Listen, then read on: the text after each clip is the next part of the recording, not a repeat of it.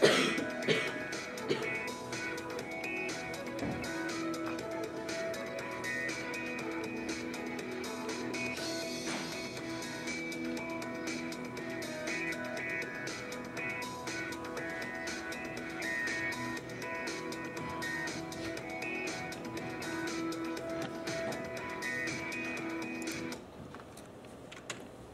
And then our conclusion on GM is that GM should continue to come with new and innovative vehicles that are more economical.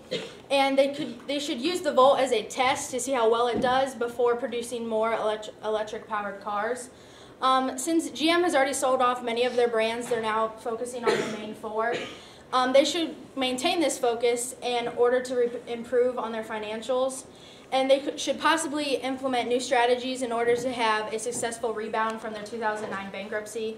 And they need to try and figure out why they had top sales in 2008 and then filed bankruptcy in 2000.